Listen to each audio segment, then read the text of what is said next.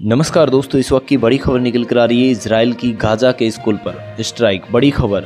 करीब 16 बच्चों की खबर सामने आ रही पिचहत्तर से ज़्यादा के घायल हैं। सेना ने कहा कि स्कूल आतंकियों का अड्डा है। इजरायली सेना ने शनिवार को गाजा पर एक और स्ट्राइक की, जिसमें स्कूल पर यह घटना को अंजाम दिया। अल जजीरा की रिपोर्ट के मुताबिक ये स्कूल संयुक्त राष्ट्र यूएन का था, जहाँ शरणार्थियों को रखा गया। स्थानीय लोगों के मुताबिक इसराइल सेना ने पहले स्कूल को चारों ओर से घेर लिया, और फिर उन्होंने यह हमला किया।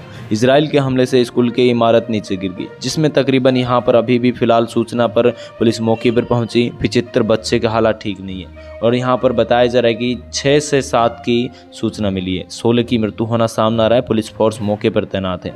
फिलिस्तीनी स्वास्थ्य मंत्रालय के मुताबिक सभी से ज़्यादा महिलाएँ, पचास के हालात ठीक नहीं है।